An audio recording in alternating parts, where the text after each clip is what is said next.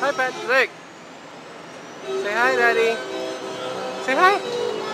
Wow.